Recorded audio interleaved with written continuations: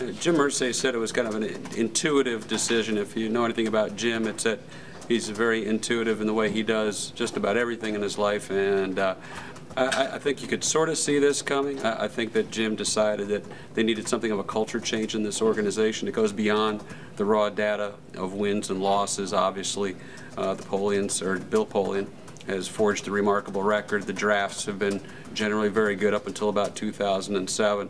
But I, I, think they just wanted a new set of eyes. And let's be honest, 14 years in any one place is a really, really long time. And 14 years uh, in the National Football League, I don't know what that works out to, but uh, uh, in, a, in, another business. But after it, Jim Irsay said about 15 times, it's time. It was time. And I, I think that's absolutely true.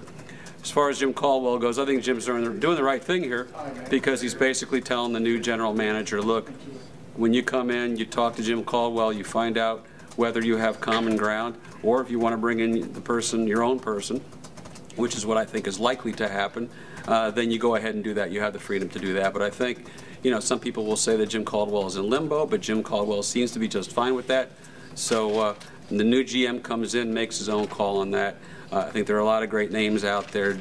I think that uh, Fisher, Jeff Fisher, is uh, the first on everybody's list.